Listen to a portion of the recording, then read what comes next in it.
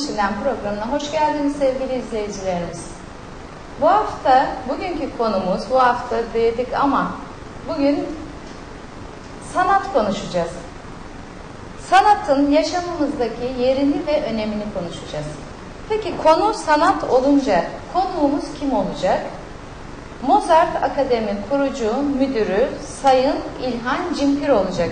Hoş geldiniz İlhan Bey. Hoş bulduk Nursel Hanım. Teşekkür ederim. İlhan Bey ben sizi tanıtırken pardon lafınıza girmiş olacağım ama e, kısaca Mozart kurucu müdürü dedim. Hı hı. Fakat sizin dolu dolu bir biyografiniz var.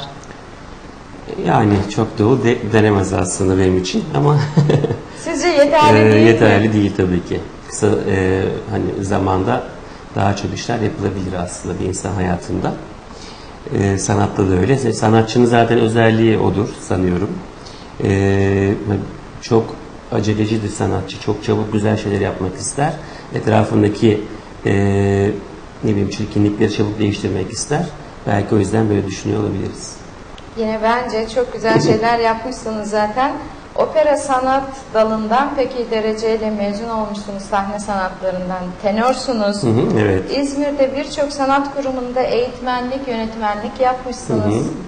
Doğru. Çocuklar üzerine birçok sivil toplum kuruluşunda gönüllü eğitmenlik yapmışsınız. Doğru. Ee, bahsedelim mi kısaca? Tabii tabii tabii. Şimdi konservatuar e, eğitimimizden sonra ben ve eşim değişik İzmir'deki değişik sanat kurumlarında çalıştık. Operadaki görevimizin yanı sıra tabii ki. E, operada da yaklaşık e, işte 12-13 yıl, 14 yıl çalışmışlığımız var. Ama e, o görevimiz tabii ki e, çok kutsal bir görev, çok e, sevdiğimiz hayatımızda e, bizi bir yerlere taşıyan ve sürekli yapmak istediğimiz bir görev, opera sanatçılığı. E, ancak tabi e, opera e, Türkiye'deki bazı sıkıntılar içerisinde opera bale kurumları, tiyatro kurumları bazı sıkıntılar var. Operada e, konservatuardan, opera bölümünden mezun olan arkadaşlarımız e, kadro sıkıntısı çekiyorlar. Onlar Evet. rahatlıkla operalarda, balelerde, tiyatrolarda iş bulamıyorlar. Özellikle de bizim nesil. E, e, biz de tabii ki bu acıları yaşamış bir nesiliz. E, operadaki işlerimizin yanı sıra da işte bu e, kadrosuzluğun getirmiş olduğu sıkıntıları biz başka alanlara da sıçrayarak, kayarak, oralarda da eğitmenlik en azından yaparak değerlendirdik. Tabii her arkadaşımız böyle yapmadı. Bazı arkadaşlarımız yurt dışına çıktılar. Ama biz hani burada kalmayı tercih ettik ben ve eşim. Ve dediğim gibi birçok sanat kurumunda operadaki görevimizin yanı sıra çalıştık ve bu kurumların e, en başında Opera Bale Vakfı TOBAV geliyor.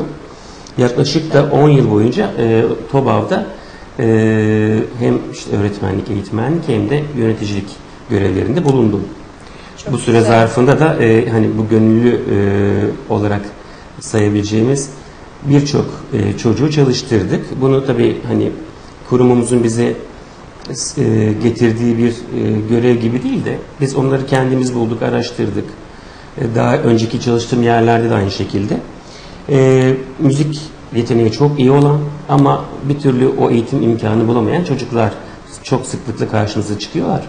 Ve biz de bu çocuklara sürekli e, hani el verdiğince, vaktimiz el verdiğince hep yardımcı olmaya çalıştık. Bundan sonra da oluyoruz, olacağız inşallah. Çok güzel. O zaman siz çocuklara yönelik bu eğitimleri eğitimlere ağırlık verdiğinizde şu laf belki de gün gelecek değişecek. Çok ünlü sanatçılar için işte iyi bir operacı, Hı hı. balet, e, kemancı, piyanist her şey- herkes için şöyle bir söz var. Yeri dolmaz sanatçı. Evet. Bence bir sanatçının yeri dolmuyorsa o ülkede bir sorun yok mu sanat adına? Ee, tabii o açıdan da bakılabilir. Ee, hani yeri doldurulamayan sanatçıların e, çok olması gerekiyor bir toplumda. Ee, neden çok yani olması gerekiyor? yerinin dolabilmesi, o Evet, tabii ki. potansiyelde yenilerin gelmesi gerekiyor. Diye yenilerin geldi. Evet, o yani yeni e, yeri doldurulamayan sanatçının daha üstünü gelsin Evet, keşke. evet, evet. Daha e, hani onları da e, tabii ki görmek isteriz ama bence sayıca bu kişiler çok olursa özellikle de bu kişiler sanat eğitiminden geçmiş kişiler siyasetin içerisinde olurlarsa o zaman ülkemizde birçok şey daha güzel Hmm, olacak diye evet, düşünüyorum. Potansiyel e, Evet. oralara kanalize etmek, Yani ayırmak. mesela e, Büyük Millet Meclisi'ndeki milletvekillerimizden e, yüzde olarak tabii ki bilmiyorum ama kaçtır. Ama yüzde olarak e, bir koro eğitimi almış, bir çocuk korosundan yetişmiş, bir enstrüman çalmış, ne bileyim dans etmiş, tiyatro oynamış.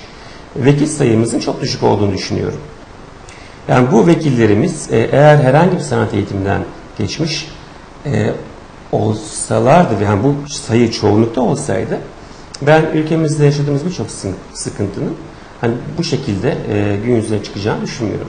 Yani bu sıkıntıların çok aza ineceğini, çok daha mutlu insanların olacağı bir toplum yaratabileceğimizi düşünüyorum. Evet e, ve temelden başlıyorsunuz. Bu Evet, çok iyi. Mesela Göztepe'de Adnan Saygın Kültür Merkezi'ne bakıyorsunuz çok güzel e, etkinlikler var ama salon bomboş. Ee, aslında e, yani bundan 10 yıl önce, 15 yıl önceyle kıyasladığımız zaman salonlarımız doldu. Dol, yani ben boş diyemem. E, opera mesela, operanın biletleri, e, senfoninin de öyle. E, biletleri çıktığı günden internette biliyorsun satışları başlıyor. Yani bir an önceden de satışları çıkıyor. Çıktığı gün e, salonun %90'ı satılmış oluyor. Ve siz o temsilleri pek bilet bulamıyorsunuz. Ha, bu güzel bir gelişme ama bu İzmir için öyle. İstanbul için öyle belki, Ankara için öyle. Ama yine de bu üç şehrin içerisinde en çok e, satış yapan opera, bale, tiyatro İzmir'dir. Onu biliyorum. Hatta geçen gün Şey, yeterli mi? yöneticilerimizle görüştük. Tabii Yani yeterli, yeterli değil. mi? E, yeterli değil. Değil. Şimdi salonlar doluyor ama e, mesela operanın sahnesi çok küçük. Yani 300-350 kişinin alabildiği bir sahne, salon var. O yüzden e, hani salon doluyor desek de e, bu aslında İstenen da istenen bir potansiyel değil. E, Avrupa'daki gibi e, bizim e, Adnan Saygun gibi o da mesela çok aslında alanında güzel bir salondur. Çok Senfoni güzel. için yapılmış. Akustiği çok güzel bir salondur. Opera için de tabii İzmir'in hatta İstanbul'un e, ve Ankara'nın bu tür salonlara ihtiyacı var. Kesinlikle ihtiyacı Keşke var. şöyle Daha büyük salonlarda. yerimiz yok. Mesela biz bir opera yapıyoruz. Belki ondan da bahsedeceğiz. E, dünyada ilk defa e, Harry Potter'ın operasını yapıyoruz. Biz Harry Potter'ın e, iznini alarak bunu bir opera e, yani opera e, sanatıyla çocukları buluşturmak adına böyle bir çalışma yaptık ve dört temsil yapacağız İzmir'de. Şimdiden biletlerimiz bitti gibi çok büyük bir ilgi var. Güzel. Çok İstanbul'dan, güzel. Ankara'dan arayanlar, Çok birçok ilden arayanlar, gelmek isteyenler var. Bayağı Projenin ünlü isimler de var gel- gelecek olan. detayından bahsetseniz Tabii, bence çok bahsedelim. ilginç bir proje. Ben az çok bir fikir sahibi oldum ama. Ee, şöyle ilginç çünkü dünyada daha önce yapılmadı. Ee, bunun iznini alan da daha önce olmamış. Biz e, yaklaşık iki yıl, iki buçuk yıl bunun iznini almakla uğraştık. Ee, yazarının bağlı bulunduğu İngiltere'deki bir şirket var. Ee, bu şirketle temasa geçtik. Tabii Türkiye'deki araştırmalarımızdan sonra. Türkiye'deki araştırmalarımız bizi o tarafa yönlendirdi çünkü.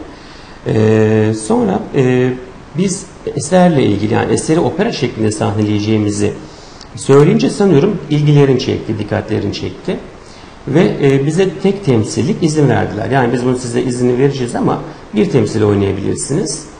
E, biz bunun üzerine tekrar tabi yazışmalar, e, görüşmeler, baskı yaptık üzerlerinde. Dedik ki hani bu kadar çocuk görev alacak. Biz daha çok çocukları hani çok sesli müzikle, operayla buluşturmayı istiyoruz. Harry Potter da bunun için en iyi isim. Yani dünyada bulabileceğimiz belki en iyi örnek. Ee, ama bu kadar çocuk bu eserde görev alacak, çalışacaklar, bir yıl boyunca bir hazırlık geçirecekler. E sonra tek temsil yapacağız, üzülecekler çocuklar dedik. Onları ikna ettik o konuda da. Ee, yaklaşık işte 6 temsile kadar şu an iznimiz var. Çok güzel. Bunun dördünü İzmir'de kişilik bir yapacağız. kadroyla oluşacak? Kadromuz e, çocuk ve gençlerin oluşturduğu bir koro var eserde. Zaten biliyorsunuz Harry Potter çocuk filmde. Evet, evet. Arkadaşları ve sınıf arkadaşları çocuk. O yüzden onları çocuklar canlandırıyorlar. Onlar eserde koroyu e, canlandıracaklar, koro olacaklar. Yaklaşık bir 75-80 çocuk ve gencimiz var. Solistler ve orkestra hariç. Güzel bir kadro. Evet, güzel. Çok ilgi çekti gerçekten. Salonlarınız nereleri olacak? Ee, Sabancı Kültür Merkezi'nde sahneleyeceğiz. Ee, 15 Mayıs'ta iki temsil, 16 Mayıs'ta iki temsil olmak üzere toplam dört temsil yapacağız. Bu Gün- hafta gündüz ve akşam. Güzel, Hı hı. çok güzel. Sabancı Kültür Evet, Merkezi'nde evet, hı. gerçekleşecek. Çok güzel. Sizin bir de Sesime Kulak Verin projesinde Evet. yer aldığınızı da Evet. e, Okudum. o da işte biraz önce bahsettiğim gibi e, Opera Bale Vakfı'ndayken ve bu gönüllülük esasıyla yaptığımız işlerin yoğunluklu olduğu bir dönemde ortaya çıktı. E, İzmir Kalkınma Ajansı'nın bir ilanını gördüm ben ve İzmir Kalkınma Ajansı'nın hani kurulduğu yıl olduğu proje. Onların sosyal projelere verdiği bir hibeyi yani ilanını görünce e, ve biz zaten bu işleri yapıyoruz dedik. E, ama hani bunu daha kapsamlı nasıl yapabiliriz? Çünkü hani gönüllülük esasıyla yapıldığı zaman ben alıyorum öğrenciyi çalıştırıyorum ama bu bireysel oluyor. Bir öğrenci, iki öğrenci, üç öğrenci kapasitenize göre, zamanınıza göre ki öyle çok öğrenciler çalıştırıp kazandırmıştım. Ee, yani müzik okullarının sınavlarını kazandırmıştım. Şimdi bu hibe e, projesini duyunca dedik ki biz e, hani belki çok çocuğa ulaşabiliriz bu sayede ve İzmir Kalkınma Ajansı'na bu projeyi hazırlayıp sundum. E, hani fikir, yazım aşaması hepsi e, hani benim tarafımdan yapıldı. E, Daha sonra İzmir Kalk- Kalkınma Ajansı projeyi kabul etti. Bize bir e, hibe sundular bu projeyle ilgili. Ve biz yaklaşık 100 tane çocuk seçtik.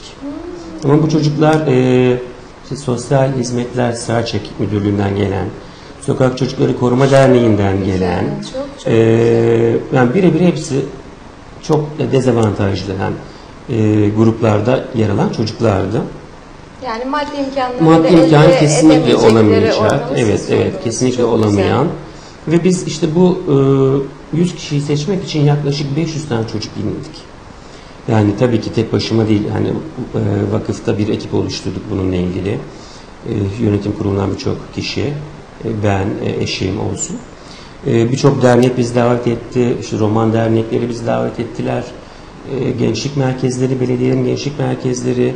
Ya bir çocuklarla ilgili ne kadar dernek varsa hepsine gittik. Çocukları tek tek dinledik ve 100 tane çocuğu seçtik.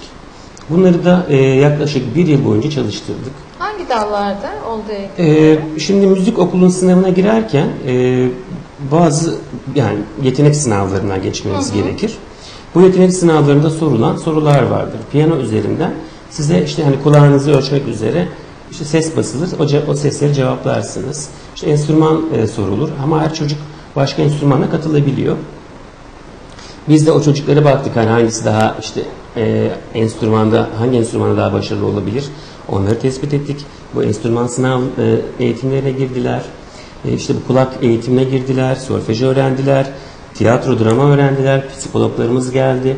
Yani birçok alanda onları e, hani sadece yetenek anlamında değil psikolojikman da bu okullara girdikleri zaman zorlanmamaları için birçok eğitimden e, geçmelerini sağladık. Ve yaklaşık da e, %80'i çocuklarımızın kazandılar. Şu an okuyanlar, mezun olanlar oldu. Yani tabii yaklaşık şey. 4 sene geçti üzerinden. Hala okuyanlar da var, mezun olanlar da var, meslek sahibi olanlar da var. Bu bizi tabii çok sevindiriyor. Onlarla hep karşılaşıyoruz, konuşuyoruz. Şöyle Hala çok iletişim bir şey sorsam. Buyurun. Hiç müzik müzik kulağı yok ama çok hevesi var. Bir şey yapabilir mi? Tabii kesinlikle yapabilir. Biz onu koroda çok yaşıyoruz. Yani e, biz Opera Bali Vakfı Tobağ'da çalışırken benim eşim e, çocuk korusunun eğitmeniydi. Ve o çocuk korosu İzmir Devlet Opera Balesi'nin çocuk korusuydu aynı zamanda. Şimdi oradaki birçok e, sahneye konulan eserde bu çocuklar görev alıyorlardı. Yani mesela Tosca operası sahnelenecek ve operanın içerisinde 10 tane 20 tane çocuğa ihtiyaç var. Yani çocuk rolünde çıkacak çocuklara ihtiyaç var. Bu çocuklar bizim hazırladığımız korolardan e, tabii seçilirdi. Ve biz bu koronun sınavlarını yaptığımız zaman sene başında Eylül, Ekim gibi sınavlar olur her sene. Ee, hani sizin bu bahsettiğiniz gibi e, hani yeteneği olmayan diyemem ama yeteneğini gösteremeyen e, kulağı çok iyi olabilir ama hani sesini kullanmayı bilmez çocuk. Sizin sorduğunuz inceliklere çıkamayabilir. Sizin sorduğunuz ritimleri cevaplayamayabilir. Ama bu çocukta yetenek yok anlamına gelmez. Çünkü biz o çocukları her defasında alırdık ve ailelerine söylerdik. Bakın çocuğunuzun böyle bir durumu var. Ama bu demek değil ki bu çocuk yeteneksiz. Biz bu çocuğumuzu en azından bir iki ay, üç ay denemek istiyoruz. Ve çok istekli çünkü çocuk. Çok güzel bir şans veriyorsun. Ve e, bu aldığımız, denemelik olarak aldığımız çocukların %99'u o kadar iyi yerlere geldiler ki bunu biz yıllarca yaşadık. Yani her sene yaşıyoruz. Ve hala bunu bu, bu şekilde uyguluyoruz biz. Yani çocuğun e, sesi kullanamıyorsa, hani bu çocuk yeteneksiz diye bir kenara ayırmak bizce çok yanlış. Çünkü bunun tam tersini ispatlayan o kadar çok örnekle karşılaştık ki biz. Bunların içerisinden e, konservatuarı birincilikle kazanan, sınıfını atlayarak e, okuyup mezun olan, çok iyi yerlerde sanatçılık yapan şu an o kadar çok tanık var ki bu konuyla ilgili. O yüzden hani biz çocukların yeteneksiz olduğuna inanmıyoruz. Sadece onları doğru şekilde eğiterek bu yeteneklerini ortaya çıkarmak, biraz sabırlı olmak gerektiğini düşünüyoruz. Ama sizler gibi engin bakış açısına sahip olmayıp da bu çocukta yetenek yok deyip Diyen var. olmuş Evet var.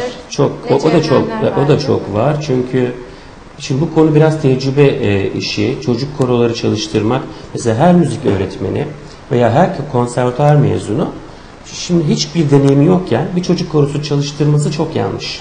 Çünkü o çocuğun sesinin kapasitesini bilmek, onun e, çocuğun o sese ne kadar hakim olabileceğini bilmek ve bunları tecrübeyle kazanmak çok önemli bir unsur. E biz de dedim ki hani 10 yıl boyunca opera çocuk korosunu çalıştırdık. Bu alanda çok e, hani iyi öğretmenlerle, çok usta isimlerle çalıştık ve e, hani çocuk korosu veya çocuk e, denince sanat eğitiminde çocuk denince hani İzmir'de e, iyi bir e, tecrübeye sahip olan kişiler olduğumuzu düşünüyoruz. Çok bu konuda güzel, mütevazilik çok, çok güzel. yapmıyoruz. Peki bu Mozart Akademi projesinin oluşmasında çocuklara bu sanat tutkusu, sanatı tutku hale getirmeniz rol oynadı mı? E, tabii yani ki. çocukları sanatla bir bütünleştirmeniz, Kesinlikle, kesinlikle. fikriniz. Çünkü işte bizim hani okuldan mezun olduktan sonra bizi bu alana iten mecburiyetlerin aslında bizim içimizdeki olan e, belki sevgi olduğunu düşünüyorum ben. Yani tabii ki biz operada sanatçı olarak kadrolu olarak girebilseydik e, belki bu, bu alanla tanışmayacaktık. Hani sanatçılığımızı sürdürecektik belki ama eğitmenlik e, tarafımız belki ortaya çıkmayacaktı. O yüzden e, bunun da hani bize ge- gelen bir şans olduğunu düşünüyorum. Çünkü biz çocuklarla çalışmayı o kadar çok sevdik ki, o kadar çok seviyoruz ki hala. E, ve orada e, hani geçirdiğimiz yılların, o tecrübelerin getirdiği bize o kadar güzel anılar, o kadar güzel kattığı duygular oldu ki bundan artık yani vazgeçmek bizim için mümkün değil. Yani biz şimdi hani operada işte hani kadro olsa tekrar işte biz o alana tekrar geri dönmüş olsak bile biz bu eğitim işinden yani çocuklar özellikle e, yapılan eğitim işinden asla vazgeçebileceğimizi düşünmüyoruz. Çünkü dediğim gibi bu bize o kadar çok şey kattı ki hayatımızda o kadar çok şey değiştirdi ki çünkü iki tane çocuğumuz var. Bir kız bir oğlan. Allah Ee, teşekkür ederim. Onlar da e, şu an bizim korolarımıza geliyorlar. E, bu aldığımız deneyimler e, çocuklarımızı eğitmekte de bize çok yol gösterdi. Belki de bu işi yapıyoruz diyorum şimdi de. Evet. Hayata hazırlıyorsunuz aslında Evet, evet. çocukları. Evet, kesinlikle. O okulda yalnızca e, yetenek ya da çocuğum oraya gitsin, bir piyanist olsun, kemancı olsun, balet olsun, operacı olsun anlamına değil. Belki çocuk Kesinlikle. hiçbir şey olmasa da Evet. orada hayata bakış açısı kazanıyor. Yani Hı hı. hayatta sağlam durmayı, emek sonucu bir başarı elde Kesinlikle. etmenin tatminini yaşamayı Hı hı, görüyor. Kesinlikle. Paylaşmayı, sosyalleşmeyi görüyor. Ee, bu bahsettiğiniz unsurlar e, gerçekten çok önemli çünkü e, mesela ben kendimden örnek verebilirim. Ben küçüklüğümde, çocukluğumda sürekli tayin görmüş, e, hani babamın memuriyetliği dolayısıyla sürekli okul değiştirmiş. Bu sebeple de biraz hani içine kapanıp utangaç bir çocuktum. Ee, ama sanat eğitimi, konservatuvar eğitimi beni öyle bir değiştirdi ki yani bunu nasıl anlatsam burada dile getiremem sanıyorum hangi kelimeyi anlatsam. O kadar çok değiştiğimi gördüm ki ben e, ve mutlu olduğumu gördüm E, ve bunu da aynısını çocuklara yaşatmak için zaten savaşımız o. Yani e, bir çocuk işte bale eğitimi olsun, tiyatro eğitimi olsun, koro veya enstrüman eğitimi olsun hangisine gelirse gelsin o alanda tabii ki bunu meslek olarak yapmak zorunda değil. Evet, Yeter ki evet. o eğitimin ona kazandırdığı duyguların bilincinde olsun. Çünkü sanat eğitimi çocuğa dediğimiz gibi kendine güveni aşılıyor en başta. Evet. Ve kendine güven belki de hayattaki en önemli şey bence. Yüzde yüz Mutluluk bence de. aşılıyor. Mutluluk Evet. aşılıyor. Siz- sizi başka kötü alanlara e, gitmekten alıkoyuyor. Evet. E, üzüntülü olduğun zaman da bir enstrüman başına geçip hani e, mutlu olabilirsiniz, sevinebilirsiniz. Onu dışarı veya üzüntünüzü e, dışarı boşaltabilirsiniz. E, sevinçli olduğunuz zaman da aynı şekilde bir işte sanat dalıyla onu dışa vurabilirsiniz. Bunlar insana çok şey katan unsurlar. Şöyle e, duygularını şiddetle bedensel Hı hı. olarak değil de e, müzikle, sanatla ifade etmenin alışkanlığını Hı hı, kazanıyorlar. Evet, evet kesinlikle. Ve dediğim gibi hani bu insanın e, kazanması gereken bence hayatta ve öğrenmesi gereken en önemli şey. Bir ülkenin, bir toplumun öğrenmesi gereken en önemli şey. O, o olursa e, toplumda işte çarpık kentleşme olmaz. Kaldırımlara park eden araçlar olmaz. Ne bileyim e, engelli vatandaşlarımızın park edeceği alanlara park eden araçlar olmaz. Kavga eden, trafikte kavga eden insanlar olmaz. E, hep bir estetik, hep bir güzellik Evet. duygusuyla e, olur bu toplum. O yüzden e, Almanya'da Dünya İkinci Dünya Savaşı'ndan sonra Almanların yaptırdığı ilk binalar biliyorsunuz opera ve tiyatro binaları olmuş. Yani niçin acaba? Hani bunu e, tabii ki irdelemek lazım. İşte Bir- müzik ruhun gıdasıdır. Evet yani insanları ilk o kötü eğittiler. evet o savaş Sonra- ruhundan, o kötü Evet. psikolojiden kurtarmanın en iyi, en güzel yolu budur. İnsanlara Kesinlikle. mutluluk vermenin, insanlara çalışma azmi vermenin en önemli yolu bence sanattı ve spor. Da, spor da sayabiliriz tabii ki evet. kesinlikle. Aynı şekilde e, zaten gençler şunu da öğrenecek ve buna alışacak. Bir başarı elde etmek için ona emek vermesi gerektiğini benimseyecek Evet, orada. bu da çok önemli. Ee, bunu da hatırlattığınız çok iyi oldu. Biz e, mesela Harry Potter operası yapıyoruz. Ee, ben bu e, oyunu neden opera olarak yaptım? Hani ben bunu bir müzikal olarak yapsaydım, bana ticari olarak e, da ne bileyim belki katılımcı çocuk sayısı olarak da daha çok imkanlar verebilirdi. Biz bunu opera olarak e, tasarladık. Çünkü e, şimdi şehrimizde de birçok bu tür çocuklara yönelik müzikaller yapıldı. Çocuklar çıktılar, playback söylediler. E, hani kayıtları başka büyük sanatçılar yaptı. Çocuklar sanatı söylüyormuş gibi yaptılar. İşte bir ayda bir oyunu sahneye koydular. İşte kostümler ve ne bileyim altyapıdan gelen müzikle. Seyirciye belki hani kandırmak E, adına güzel bir şey belki çıkmış öyle olabilir olmuş ama biz e, bu eseri sahnelemek için bir yıldır çocuklarla çalışıyoruz ve e, işte yaklaşık 10 gün, bir hafta gibi bir zamanımız var ve bu haf- bir hafta süresince de her gün çalışmaya devam edeceğiz ve cumartesi, pazar inanın 6 saat, 8 saat çocuklarla çalıştık biz bu eseri sahnelemek üzere. Hiçbir çocuğun şikayetçi olduğunu, hiçbir velinin şikayetçi olduğunu duymadım.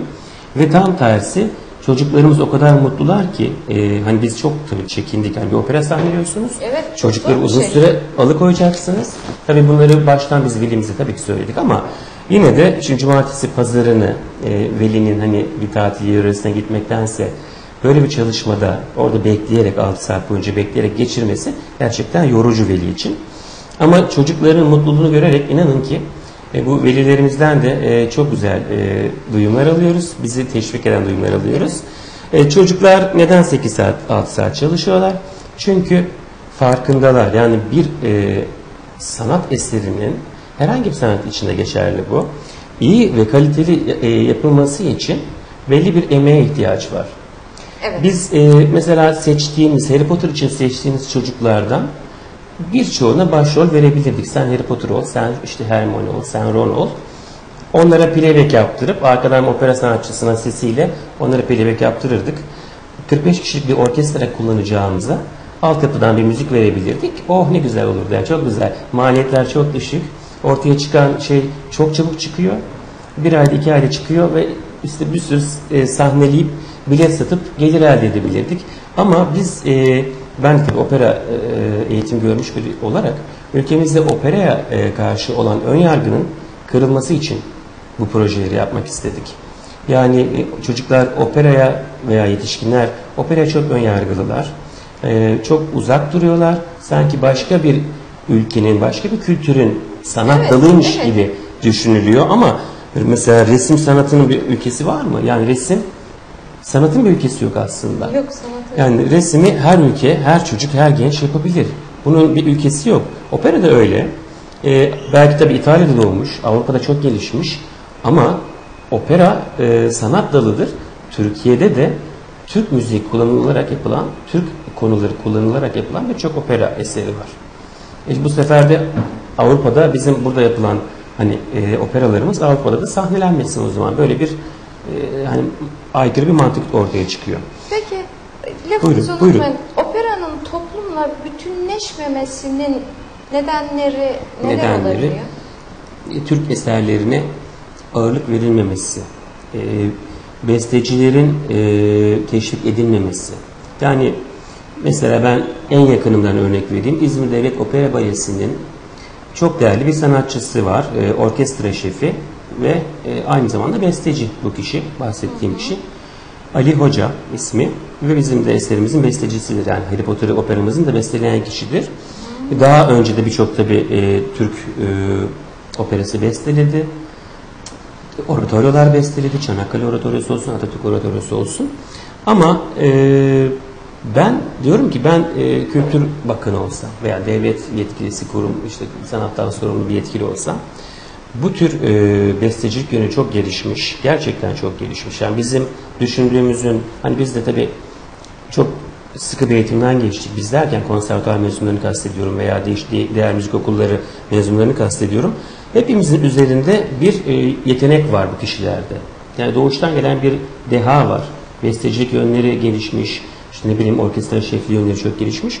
Bu kişilerin görevlendirilip sadece işte konular belirlenip beste yapmalarını sağlamak lazım. Yani Kültür Bakanlığı olarak, bir devlet yetkilisi olarak bu kişilerin bu yönlerini kullanmaları gerekir ki Türk operaları çoğalsın.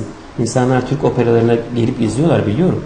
Yani biz bir e, Aşkı Memnu operası oynadık. Yani bütün temsiller fulldü ve o kadar çok istek vardı ki. Onun dışında yani birçok e, Selman Adan'ın bestelediği Ali Baba Kırkaramiler, e, birçok opera var, Türk operası ve bunlar e, bildiğimizden, sandığımızdan çok çok ilgi çekiyor gerçekten. Yani bütün Çok temsilleri güzel. dolu geçiyor. Çok Bunların bence e, ön plana çıkarılması e, ve operanın bir şekilde hani tanıtılması, sevdirilmesi lazım. Opera sadece ne bileyim işte İtalya'daki bir kontun sarayında geçen hikayeler anlatılmıyor operada. Yani Türk ezgilerinden oluşan, Türk e, hikayelerinden oluşan operalarımız da var. Bunlara ve insanlar biliyorlar, geliyorlar ama tabii hep e, tekrarlamak, duyurmak yine de görevimiz. Kültür Bakanlığı'na daha mı çok rol düşüyor burada? Bence öyle. Evet. Yani e, yarışmalar açılabilir. Mesela TRT'nin açtığı bir e, çocuk şarkı beste yarışması var. TRT bunu iki yıldır düzenler. E, ve o kadar çok beste kazanıldı ki yaklaşık 10 yıl oldu sanıyorum bu yarışmanın e, şeyleri devam ediyor 10 yıldır. Ve o kadar çok beste kazandı ki çocuk koroları. Hani bizim TRT döneminden bilirsiniz çocuk korolarını hep küçükken biz de Evet, izlerdik. evet, evet. Hani hepimizin bildiği şarkılar vardır. O şarkılar sürekli 20 yılda döndü bir süreye kadar. Ama daha sonra bu Şimdi TRT'nin değişti. yarışmasıyla birçok güzel şarkı çocuklara kazandırmış oldu bu yarışma. Ben diyorum ki işte Kültür Bakanlıkları yarışma olmasa bile bu tür elinde olan önemli değerleri Evet. e, onları e, yüceltmeli, onları teşvik etmeli. Onlara beste yapması üzerine teşvikler vermeli. Ki yani opera sanatı gelişsin. Ne bileyim bu tiyatroda da aynı şekilde, de resimde aynı şekilde. Belediyeler e, spor kulüplerine biliyorsunuz hep yardımlar yaparlar. Çok güzel yapılmalı ama aynı yardımları sanat kurumlarına da yapmalı belediyeler. Kesinlikle. Mesela bu konu çok eksiktir. Ee, ve ne bileyim hani bu biraz da şey görülüyor herhalde. Ee, hani hani ya- yapılan yardımın e, kötü bir şey olacağı gibi izlenim var bilmiyorum ama sanat kurumlarına Boşa gidiyor. bu yardım evet boşa gidiyor gibi bir izlenim var sanıyorum. Spora e, tabii çocuğu görüyor top oynuyor. Sanatta evet. sanatta belki o, o kadar çıktısını mı göremiyor bilmiyorum. Şimdi ben de onu düşünüyorum. Evet Gerçekten. sanki ama sanata bir şekilde de e, özel e, tabii sponsorluklarla da desteklenmeli ama özellikle belediyelerin bence e, şey yani kendi sınırları içerisindeki sanat kurumlarına özel de olabilir bu. Dernek adı altında da olabilir. Bence bir şekilde destek vermesi gerekiyor. Evet dediğiniz gibi e, aileler de illa bir görsele dönsün istiyor çocuğu bir eğitim aldı mı. Ben ressamım. Resim kursları veriyordum askeri Hmm. birimlerde. Oraya çocukları geldiğinde hemen daha ikinci güne Evet. hocam ne yaptı ne yaptı bakalım Evet, ne çizdi. Hemen Çocuk resim çocuk. ve müzik kursuna gelir. Hadi çal. ne çalacak hocam? Ya şu Çal parçayı ne kadar sonra çalacak? Hemen Evet. soru ilk soru odur. Ailelerin Ya acelesi. şimdi tabii biz de ona ne diyoruz? Ee, bir hafta sonra da çalabilir. Ama hani bir yıl sonra çaldığıyla bir hafta sonraki çaldığın arasında inanamayacağınız bir fark olur. Evet, Ve onun, şey onun da sonu çalmayabilir. yoktur yani. Tabii ki. Yani çalmaktan çalmaya fark var. Tabii. Ee, hani maksat çaldırmak değil, ona düzeyi doğru öğretmek. Onu o işten zevk almasını sağlamak. Tabii ki çocuk şarkıyı çalacak, tabii ki resim de yapacak ama işte demin de bahsettiğimiz gibi bir emek harcamak. Evet. Yani o emeği harcamadan e, çocuklar böyle hani bir ayda, iki ayda, üç ayda maalesef ki o velilerin beklediği seviyeye gelemezler. Tabii bu sefer eğitmenler de üzülüyor. Hemen Üzülüyor, tabii. ne gö- ne öğrendin göster bakayım dediklerinde. Eşim flamenko gitar çalar. Ee, mesela derler ki bizim çocuğa eğitim verir misin? Eşim asla kabul etmez diyor. Neden kabul etmiyorsun? Hayır diyor. Velisi iki gün sonra ne öğrendin Evet. çal bakayım Evet, diyecek bunu diyor. çok sık Çünkü en az karşılaşıyoruz. iki yıl öğrenmesi gerekiyor. Tabii flamenko özellikle e, hani tabii her gitarın her gitar çalanın da çalabileceği bir dal değil. Özellikle üzerine eğitilmesi, Evet, eğilmesi evet. gereken bir konu. Gerçekten zor Eğitmenleri de ritimler. biraz Evet. üzüyor bu konular. Kesinlikle üzüyor evet. Sizin Ama- akade... Buyurun. Pardon. Yani tabii işte, hani velilerimizi de yavaş yavaş bilinçlendirmemiz Evet. hepimizin görevi. Bu konuda biz hep anlatırız. İşte çocuğunuz buraya gelecek ama işte e, şu şu şu şu şu süreçlerden geçecek, şu eğitimleri alacak. Hani bir senede çocuğunuzdan beklemeyin şunu çalmasını veya Evet, şöyle olmasını beklemeyin diye tabii ki hep uyarılarımız yapıyoruz. Onları bilinçlendiriyoruz. Ee, sanıyorum tabii ki yavaş yavaş toplumumuzda da hani bu e, konu biraz daha öğrenilmiş oluyor veliler tarafından. Tabii şey var hani YouTube'da artık e, veya diğer sosyal ka- e, kanallarda e, birçok şeyi açıyorlar. 5 yaşındaki çocuğun hani virtüöz derecesinde bir şey çaldığını görüyor veli. Benim çocuğum da öyle olsun istiyor ama tabii o dünyada e, çok nadiren çıkar çocuklarda. O yüzden. Evet, evet. Piyano festivali ve yarışması Piyano yarışması ve festivalimiz eee, var. Bu sene üçüncüsünü Evet. düzenliyoruz. Eee iki işte yıl ulusal olarak düzenledik. ilk iki yıl. Bu sene gelen baskı üzerine uluslararasına çevirdik. Evet. Ama tabii bizim piyano yarışmamızın bir özelliği var, bir farkı var. Eee, Türkiye'de çok sık olmasa da İstanbul'da, Ankara'da birkaç ilde daha piyano yarışmaları düzenleniyor. Ama bunlar e, genelde konservatuar öğrencileri arasında veya diğer müzik okulları öğrencileri arasında yapılan yarışmalar. E, bir de İstanbul'da yapılan bir yarışma var. O yarışmada da hem amatör çocuklar hem de işte konservatuar öğrencileri gibi profesyonel diyebileceğimiz gruptaki öğrenciler aynı yarışmada yarışıyorlar. Ama bizim yaptığımız yarışmada e, çok dezavantajlı. Şimdi tabii hani burada bir e, adaletsizlik söz konusu Evet. olabilir. İki e, farklı eğitim aslında farklı eğitim derken tabii ki süre olarak zaman olarak e, belki amatör çocuk da aynı öğretmenle çalışıyordur. Yani özel olarak konservatuvardaki çocuğun öğretmeniyle çalışıyor olabilir ama bu çocuğumuz haftada bir gün ders görürken diğer çocuğumuz tüm zamanı konservatuvarda bu işe arıyor, ayırıyor ve bunların ikisinin aynı kulvarda yarışması haksızlık olabilir diye düşündük. Biz e, yarışmamızı sadece amatör çocukların girebileceği bir yarışma yaptık. Çok Konservatuarları e, Çok adil Evet, olmuş. evet.